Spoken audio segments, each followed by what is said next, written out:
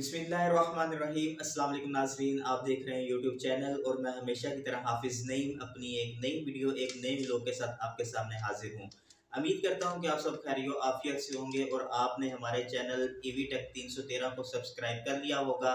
अगर आपने अभी तक हमारे चैनल ईवी टेक तीन को सब्सक्राइब नहीं किया तो जल्दी जल्दी चैनल को सब्सक्राइब कर लें ताकि हमारे आने वाली हर वीडियो सबसे पहले आप तक पहुँचती रहे और को हमारी कोशिश होती है कि हम आपको अपनी वीडियो, अपने ब्लॉग में वो चीज़ बताएँ कि जिससे आपका नुकसान ना हो, आपका फ़ायदा हो सके, आप नुकसान से बच सकें।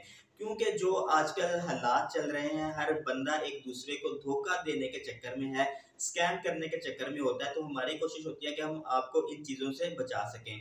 अगर आपने ढाई से तीन लाख या डेढ़ लाख, दो लाख खर्च कर कर बाइक परचेज करनी है इलेक्ट्रिक बाइक परचेज करनी है तो आप किसी स्कैमर के हाथ ना चढ़ जाए, बल्कि आपको फ़ायदा हो सके। आप वो चीज़ बाय करें जो आपको लाइफ टाइम साथ दे या पूरी लाइफ आपके साथ चले।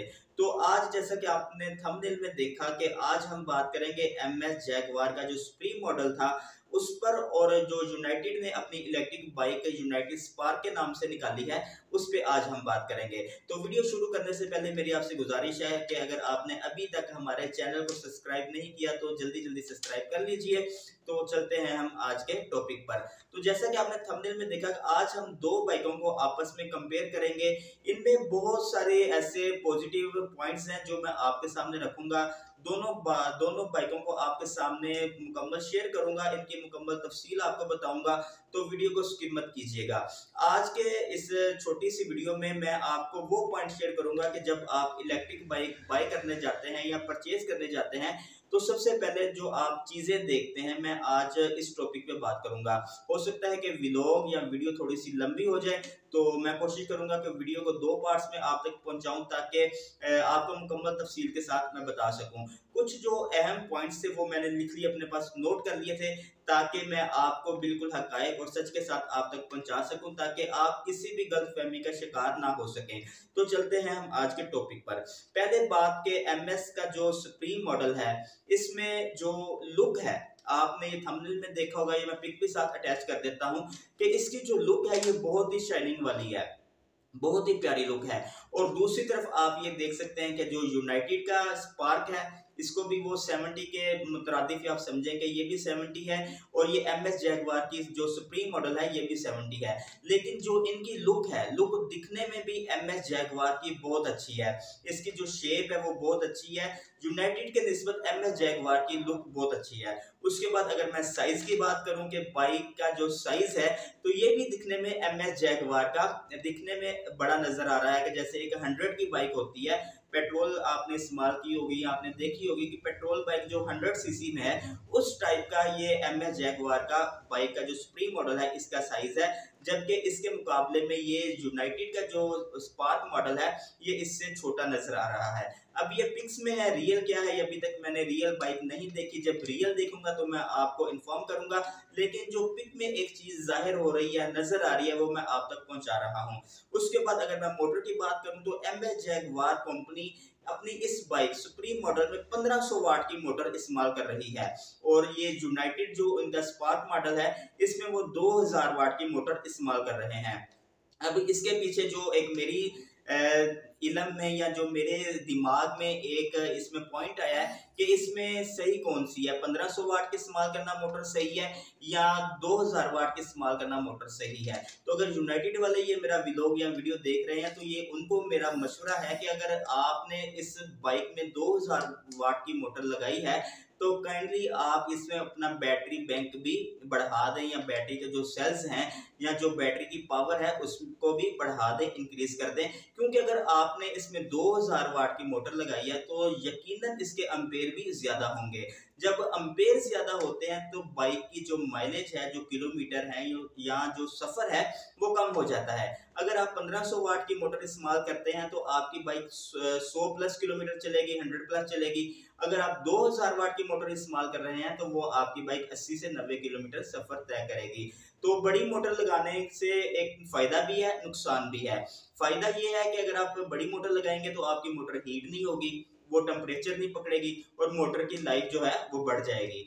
लेकिन जो नुकसान है वो ये है कि आपकी माइलेज कम हो जाएगी। उसके बाद मैं बैटरी की बात करूँ कि एम एच जैगवार अपनी इस सुप्रीम मॉडल में जो बैटरी इस्तेमाल कर रहे हैं, वो है लिथियम आयन फास्फेट और जो यूनाइटेड स्पार्क वाले अपनी इलेक्ट्रिक बाइक में बैटरी इस्तेमाल कर रहे हैं, वो है लिथियम आयन अब ये ऊपर आपको विलोक मेरा नज़र आएगा कि लिथियम आयन पे मैं मुकम्मल एक वीडियो बना चुका हूँ मेरे चैनल में।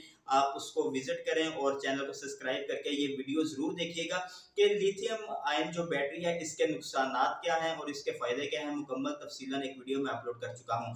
तो जहाँ तक मेरा नॉलेज है या मेरा एक्सपीरियंस है कि लिथियम आयन के बदले में लिथियम आयन जो फास्फेट बैटरी है, उसकी लाइफ भी ज़्यादा है, उसकी पिक भी ज़्यादा है, उसकी पावर भी ज़्यादा है और आपकी ये जो बैटरी है, इसमें लिथियम आयन फास्फेट में इसमें कोई ख़तरा भी नहीं है। ये हो गया अभी तक हमारे तीन पॉइंट उसके बाद मैं माइलेज की बात करता चलूँ तो एम एच जैगवार का जो ये सुप्रीम मॉडल है तो ये एम एच जैगवार कंपनी के बकौल, वो कहते हैं कि हमारी bike 100 plus kilometre 100 plus kilometre सफ़र तय करती है कि हमारी बाइक की जो माइलेज है वो 100 से ज़्यादा है. जबकि जो यूनाइटेड स्पार्क वालों का मॉडल है, वो कहते हैं कि हमारी बाइक 80 से पचासी किलोमीटर सफ़र तय करती है. इसमें भी बहुत बड़ा डिफरेंस है। एक बाइक जो है वो 100 प्लस किलोमीटर सफ़र करती है और जो यूनाइटेड की बाइक है तो वो अस्सी पचासी किलोमीटर सफ़र तय करती है। उसके बाद मीटर की बात करूँ मीटर का बहुत अहम रोल है। दोनों बाइक्स में, दोनों बाइकों में डिजिटल मीटर लगाया गया है। लेकिन डिजिटल मीटर कौन सा बेहतर है, ये भी मैं तफसीलन एक वीडियो अपने इस चैनल पे अपलोड कर कर चुका हूँ। उसको भी आप ज़रूर सुन लीजिएगा, देख लीजिएगा कि जो एम ए जैगवार वाले अपने स्प्रीम मॉडल में डिजिटल मीटर लगा रहे हैं। वो डिजिटल मीटर इतना अच्छा मीटर है कि उसमें आपको हर चीज़ शो हो जाती है। आपके वोल्टेज शो हो जाते हैं, आपकी माइलेज कैलकुलेट हो जाती है। अगर आपकी इलेक्ट्रिक बाइक में कोई इशू आ जाता है तो वो भी आपकी मीटर पे शो हो जाएगा कि आपकी बाइक में इस टाइम ये इशू है। जबकि जो यूनाइटेड वाले मीटर इस्तेमाल कर रहे हैं डिजिटल मीटर उसमें आपको सिर्फ़ और सिर्फ़ स्पीड कैलकुलेट होती है। वो मीटर आपको सिर्फ़ स्पीड बताता है कि आपकी बाइक इस टाइम इतनी स्पीड पे चल रही है।